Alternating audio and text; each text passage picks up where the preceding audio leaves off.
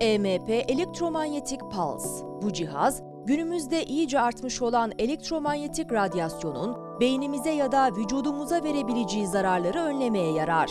GSM baz istasyonları, Wi-Fi modemler, radarlar, mikrodalga fırınlar, telsiz ve televizyon istasyonları yaydıkları radyasyonla vücudumuza zaten büyük zarar veriyorlar. EMP cihazları bu derece yaygın ve yoğun hale gelmiş olan elektromanyetik radyasyonun vücudumuza yapabileceği manipülasyonlara engel olmak üzere geliştirildi. EMP'lerin yaydığı duktil enerji perde görevi görerek koruma sağlıyor.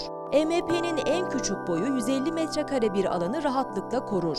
200 metrekare ve 300 metrekare alanları koruyabilen EMP'ler olduğu gibi kişisel kullanımlar için mobil tipi de bulunuyor. EMP cihazının evdeki diğer cihazlar üzerinde bozucu ya da engelleyici özelliği yoktur.